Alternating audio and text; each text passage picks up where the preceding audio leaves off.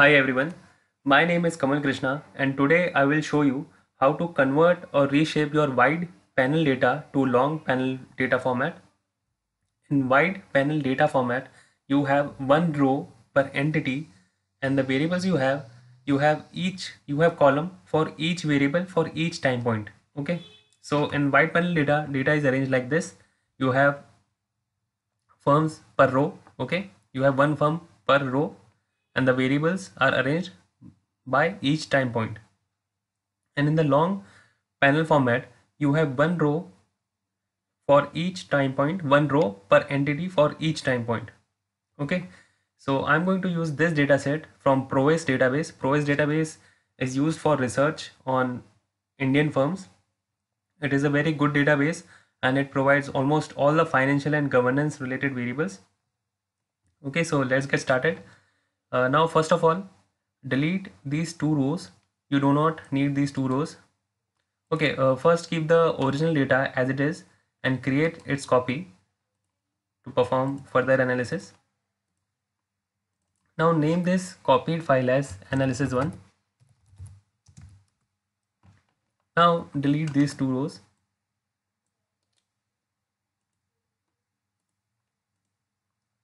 Okay so now uh, come to this cell.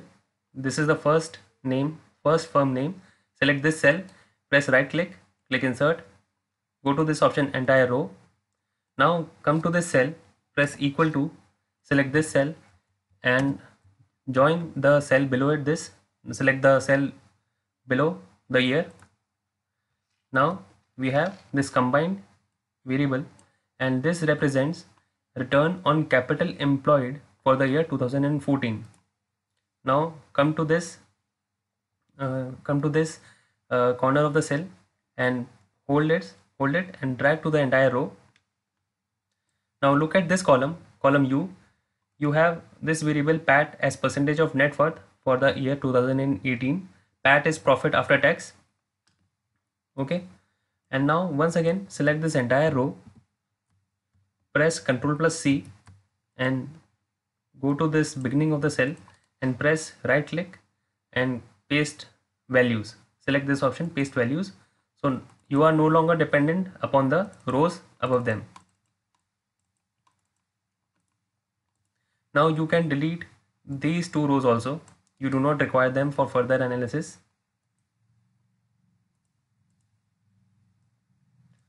So we have first column as firm's name containing firm's name and the subsequent columns represent the variables for each time point. So in total we have four variables and we have five years from 2014 to 2018. Now go to this option data, go to from table range. This option will convert the data set into table and we can perform further analysis in Power Query. Now select this column, the column containing firms.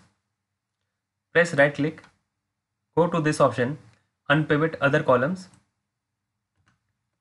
Now we have to split this column into two separate col columns.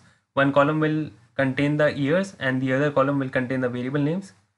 Now go to this option split column in the transform section and go to this option by non-digit by digit to non-digit. We can we can rename this column as year and we can rename this column as variables. And we can go to now uh, the we can go to now close and load.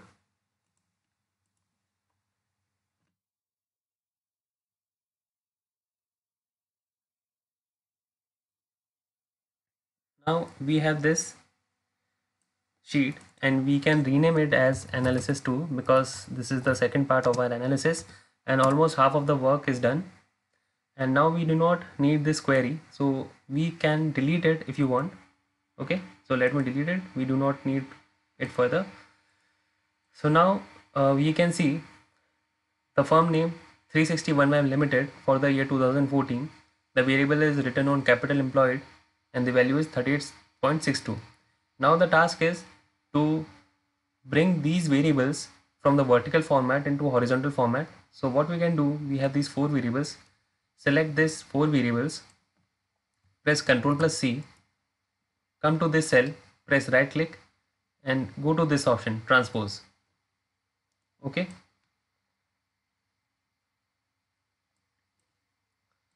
Now what we can do to bring these values here, we can use the option XLOOKUP.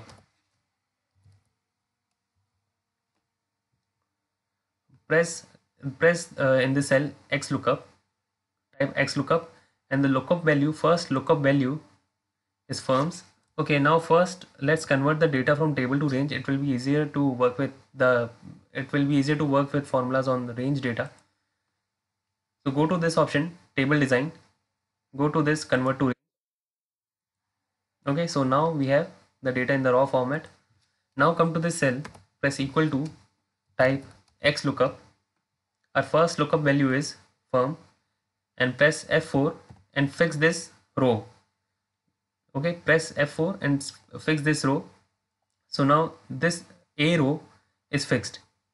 And then type ampersand option and select this option year option. Also now press F4 three times and sell and fix this B row. Sorry B column and then we have to look one other one more value which is this value and let's fix it by pressing F4 okay so this cell is permanently fixed and the firm column and year column is fixed. Now we have to look these values in the relevant lookup arrays. So for this first value a2 the relevant column is this whole column from A2 to A6615 and now fix this array. Now press again ampersand. For the year value you have to look into B2 to B6615 press F4 to fix this array. And now for this third variable the variable of interest we have to fix this C2 to C6615 and press this press F4 to fix this array. And the return array is our value array D2 column D6615 and also fix this array Now close the bracket and press enter.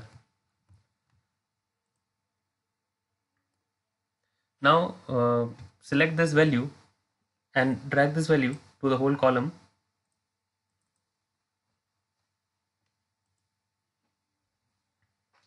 Similarly, you can copy this formula to other columns and only one small change you have to do. You have to see this, the variable of interest in the earlier column we had selected E1 so now in this case we have to select F1 and it will give you the appropriate value. Similarly come here and change this value from E to G. And here from E to H.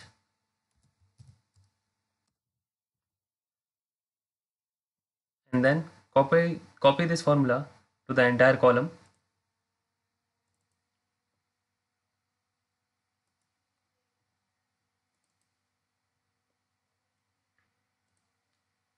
okay so you can see it for yourself uh, for the firm 360 1 limited for the year 2014 and the variable return on capital employed the value is here 38.62 and it is also giving you here the relevant value.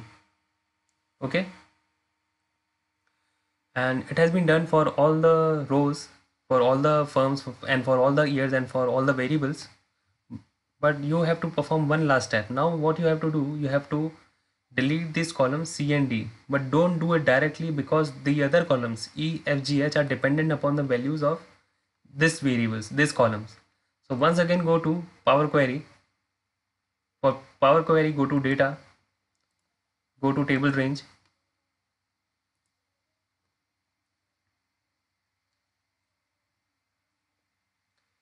So now we have, see now what we can do we can select any one variable.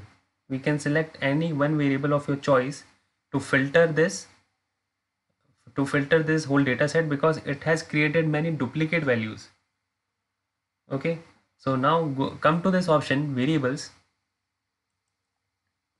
and select any variable you want. Let's select return on total assets press ok. And you do not require this column now value so you can delete it if you want you should delete it.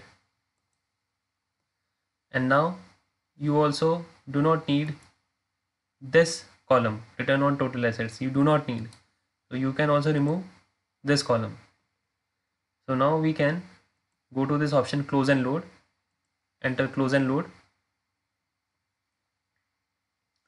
So this is our final table. Final analysis table now you can delete this query if you want. We do not need it further.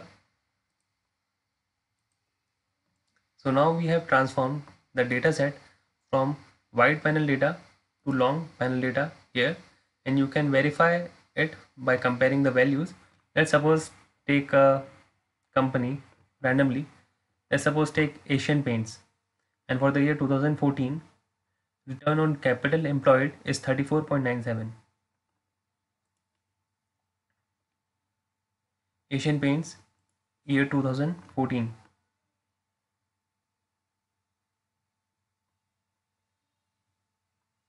34.97 okay so this is done. If you have any further queries you can type it in the comment section. I will try my best to resolve all your problems and queries okay so thank you. Subscribe to my channel if you like my videos and also you can connect with me on different social media platforms. I've given this link in the description box. So yeah keep in touch with me